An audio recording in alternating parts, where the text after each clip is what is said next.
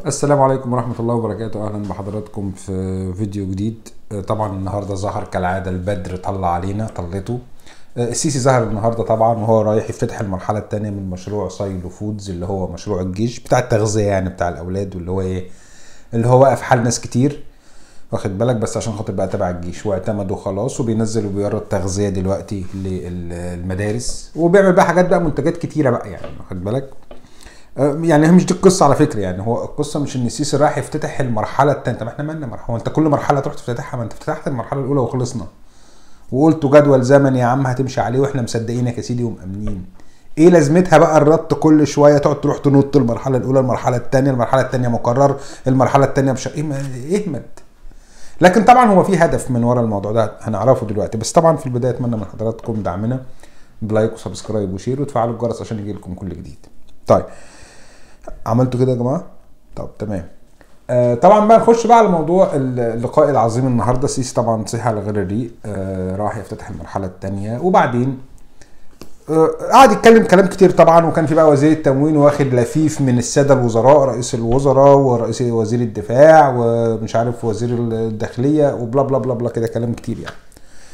لكن الحقيقة ال- الهدف من الموضوع كله خلاص هم حتى في الجزء الأول بقى قبل ما يتفقد الموضوع يلا يا سياده الرئيس عندنا جولة تفقدية اتفضل بينا فيما يخص الموضوع.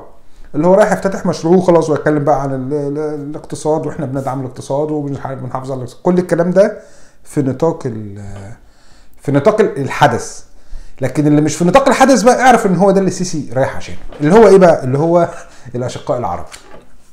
جو هم قايمين قالوا لهم استنوا بس يا جماعة ثانية واحدة عايز أقول لكم كلمه قعدوا.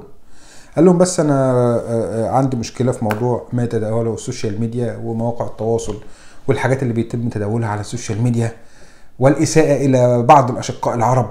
وده مش مش مرحب بيه ومش مطلوب ومش محسوب ومش مش عارف إيه. وقعد بقى يقول شوية كلام كده. ويا جماعة لازم تنتبهوا أنتوا بتقولوا إيه. وبلاش تمشوا ورا آه ورا المواقع المغرضة اللي هدفها الوقيعة.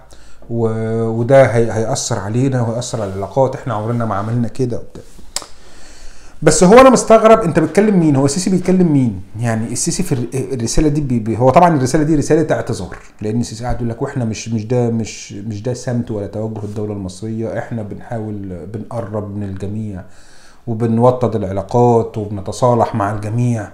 وقام ضارب مثل وسخ. أنا آسف يعني. يقول لك ده حتى اثيوبيا اللي إحنا عندنا مشاكل معاها ما بنقولش عليها إلا الحاجة الكويسة. يا اما ما نقولش إحنا ما بنعرفش نقول حاجة وحشة. بسم الله ما شاء الله. يقول لك والناس تقعد تقول لك وتوجه. لا إحنا عمرنا ما توجهنا كان الاساءه إحنا توجهنا هي الحسنى والتعامل. وقعد بقى إيه؟ اللي هو بمعنى صح. عارف انت لما يكون عيل ابنك انت شيخ منصر وبتاع ومسرح العيال الص- الصبيان بتوعك؟ فلما يجوا يتقفش تقوم جاي واخد الولاد ع- العيل جزء قلمين وتقول له لا معلش حقك عليا. ده ده ده, ده معلش أنا هربيه لك وتبقى انت اللي بعده هو نفس الحكاية سيسي عمل كده النهارده بالظبط طلع ياخد اللقطة دي.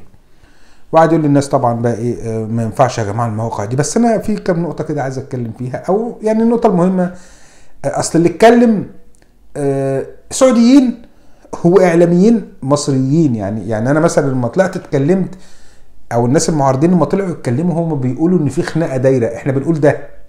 ده من واقع إن في خناقة دايرة يعني مش إحنا اللي قمنا. يعني مثلا إيه مش المعارضة أو أنا- أنا عايز أفهم إيه المواقع المغرضة اللي قالت كده. يعني حد يقول لنا كده إيه المواقع المغرضة؟ آه، اللي اللي اشعلت الفتنة العظيمة دي. ده هم الجماعة بتوع السعودية. طرقعوا لك على ودانك.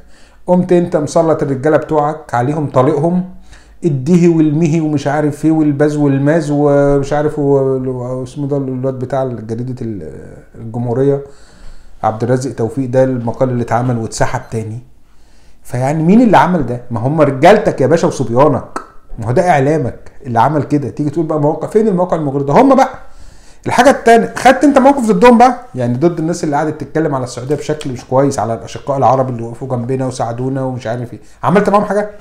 يعني هل أنت خدت معاهم موقف؟ هل أنت مثلا بقى آه، حبستهم بتهمة نشر أخبار كاذبة أو بتهمة الإساءة للأشقاء اللي ساعدونا؟ عايزين نعرف. يعني إيه الخطوة أو الإجراء اللي أنت خدتهم؟ دول صبيانك بقى يا معلم. إلا بقى لو كانوا شغالين بمزاجك.